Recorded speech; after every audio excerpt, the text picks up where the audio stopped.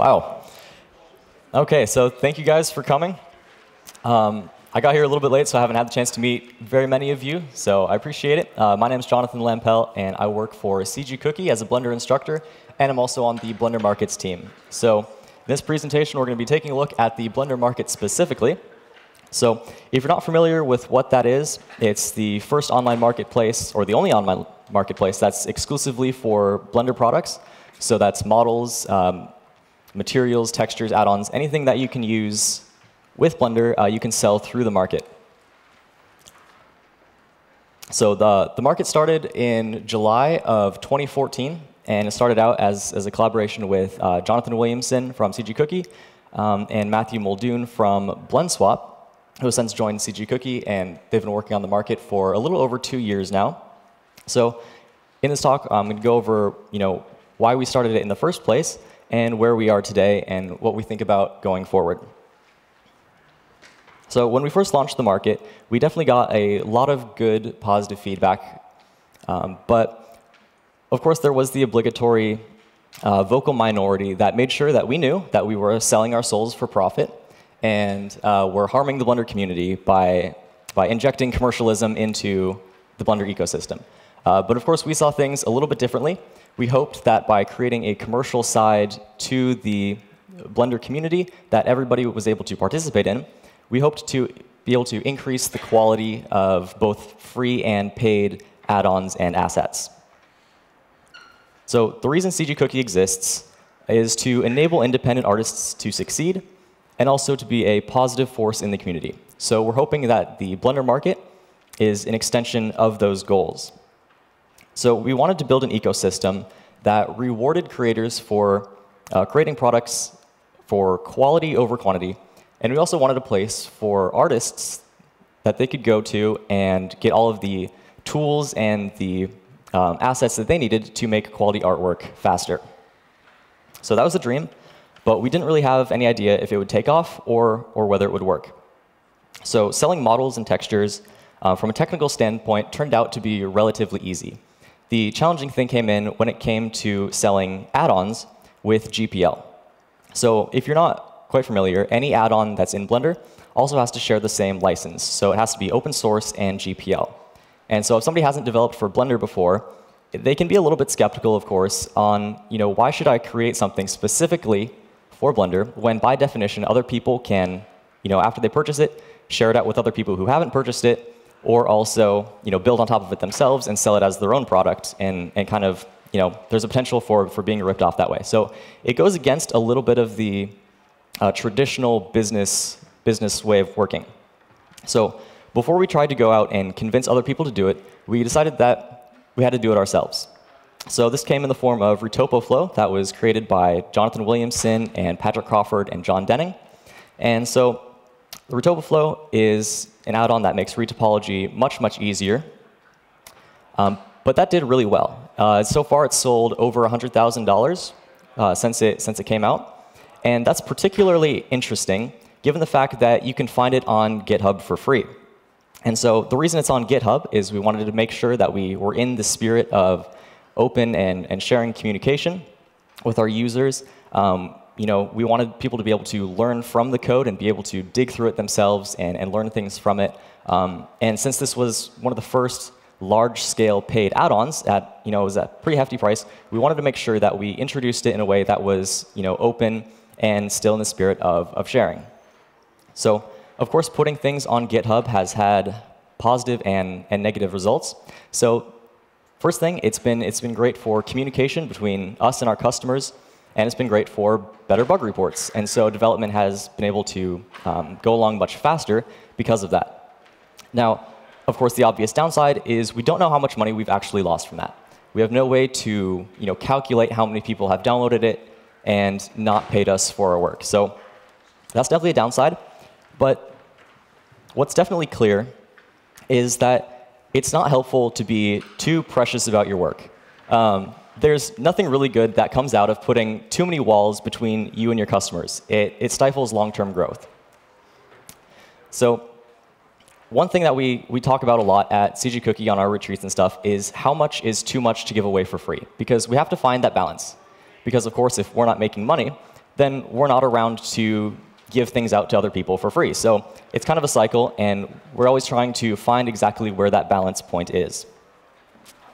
But of course, not everybody is in our position when it comes to uh, selling things with GPL. For example, uh, Allegorithmic, the company that makes Substance, Substance Designer, and Substance Painter, they have a really cool plugin for Maya, and they have a really cool plugin for Unity. And they kind of hit a roadblock when it came to Blender because of the GPL license.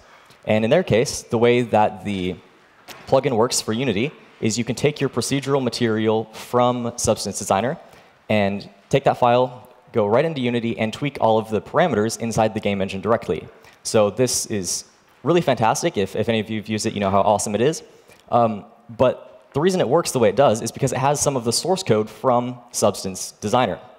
So in order to you know, make that with Blender, they'd have to open source you know, that part of Substance Designer, which is a really big deal and not, not something that they're willing to do.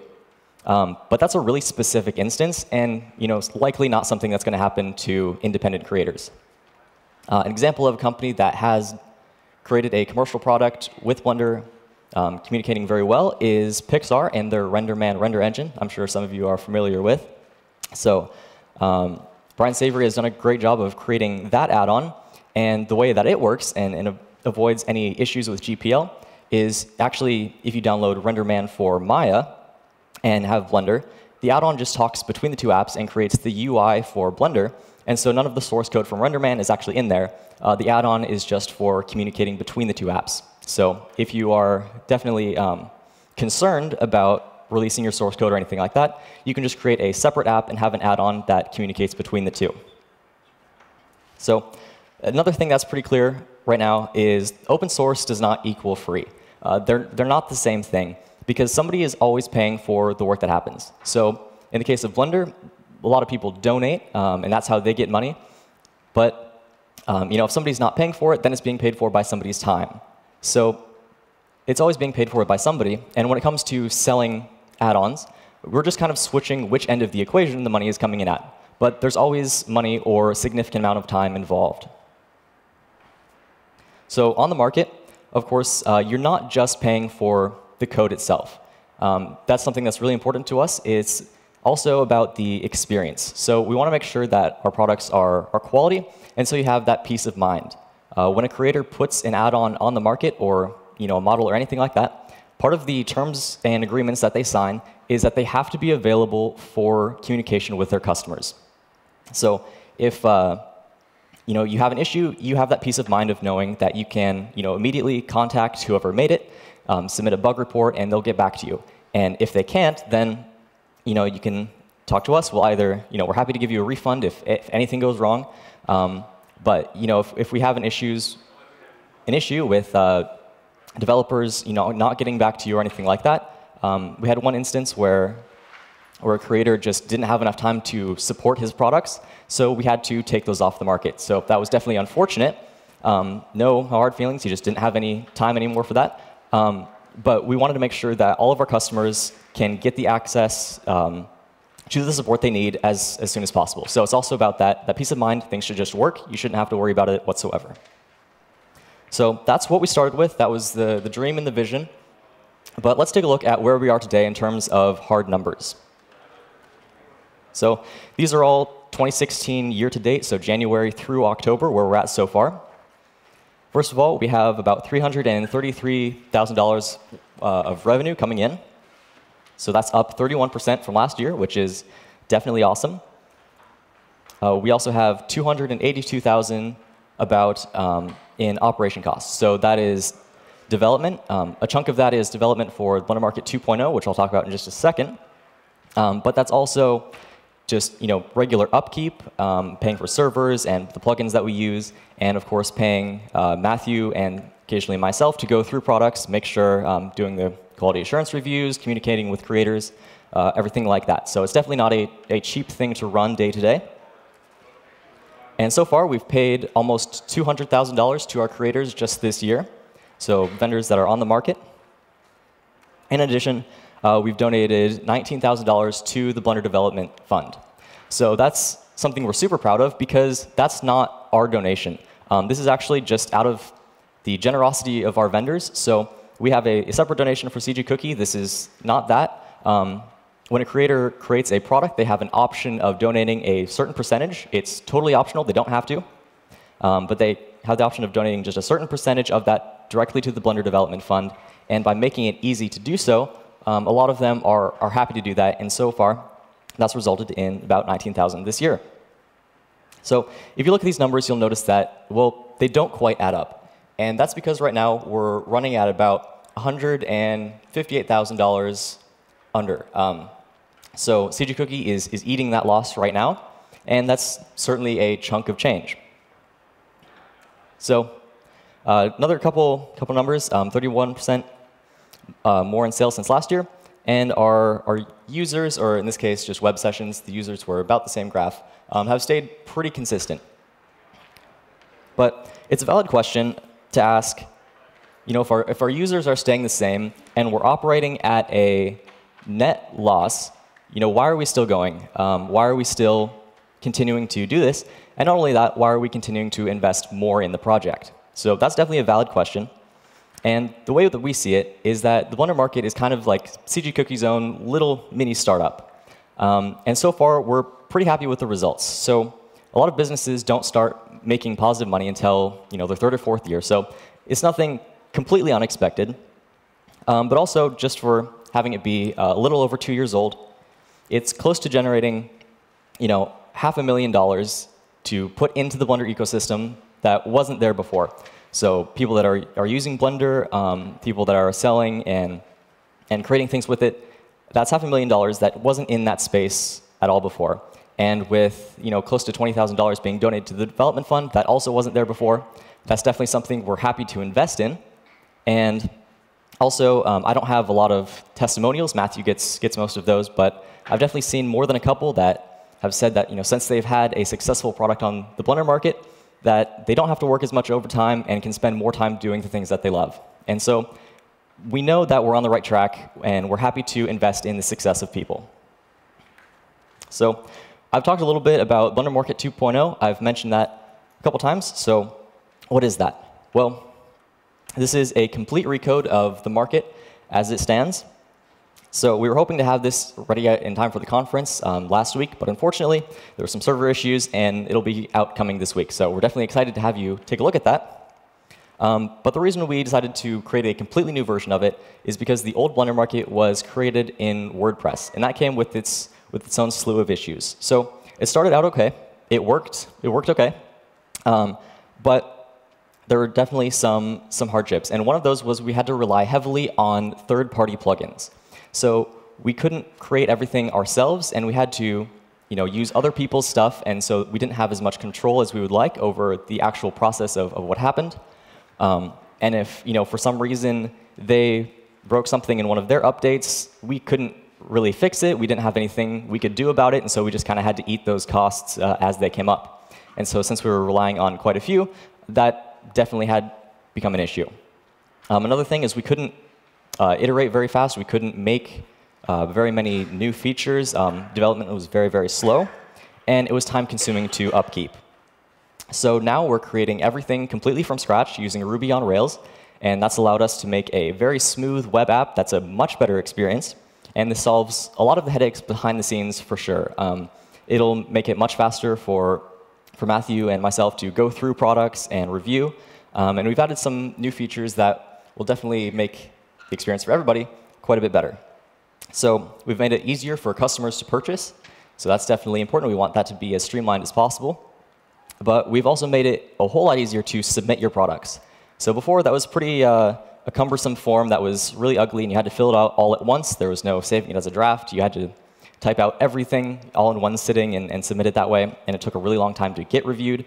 Um, so we've, we fixed that with a really smooth form, um, quick process. You can submit it whenever you'd like, and you can leave us comments, and uh, we can email you straight from there. Um, another thing that we've added is reviews. So before you purchase a product, you can see what other people have thought about it. And you know, if you had a good experience or a bad experience, you can let the creator know uh, right in their reviews. And so that's definitely something that's been proven on, on multiple uh, websites to increase sales, so that's something we're looking forward to having.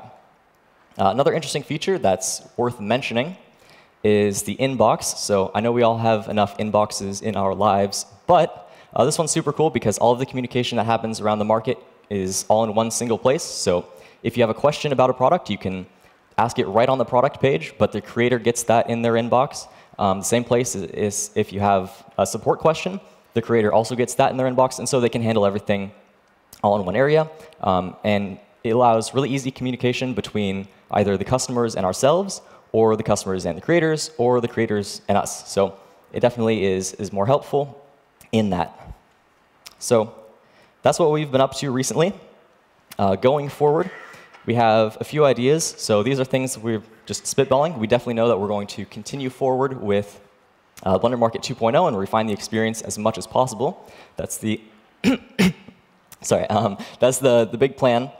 But also in addition to that, we've been spitballing a few ideas that are not set in stone, but things that we might think would be interesting. So one of those is to incentivize creators to make things that we know will sell well. So one thing that's an issue with online marketplaces is people create a lot of really random things that you wouldn't really expect people would want to buy. Um, and that's totally fine. It kind of you know, fills it out, um, and you get some, some really interesting products. Uh, but a lot of the time, there's things that we know will sell well, but creators just haven't made. So for example, modular asset packs for games, we know that's a huge thing, but there's only like one or two of them on the market. So an idea would maybe be to incentivize people to make those, either with uh, like a reward system or you know, giving a bounty for the first person who creates it or something like that. Uh, just create a fun system for getting the right products to attract customers. Uh, another idea, and I think this was from Ton, I'm not entirely sure I wasn't there for this conversation, but it sounds interesting, is use the fund, use the money that's going towards the Blender Development Fund and hire our own Blender developer. And so the way that that might work is instead of bothering the, uh, the Blender Foundation with all of our bug reports or issues that our creators have, we can just hire our own developer and have them work on issues. So if somebody's trying to you know, make the infamous um, make render perfect button, but they have this issue with you know, some small thing in Blender that's just not working, instead of bothering the Blender Foundation, we can just hire our own person and take care of it for them. Um, and so we'd make sure that those those changes are in alignment with the Blender guidelines and make sure that it gets patched for everybody. Um, so it would benefit, benefit everybody. So those are a few ideas that we have. Um, there's definitely a lot of stuff going on. So that's just a quick overview of where the market's at so far. So that's, that's all I've got today. Um, but if you want to talk, we definitely want to be as open and transparent as possible. So if you have any questions whatsoever, feel free, feel free to flag me down in the hallway. Um, I'd be happy to talk. So Thanks for listening, and have a good rest of the conference.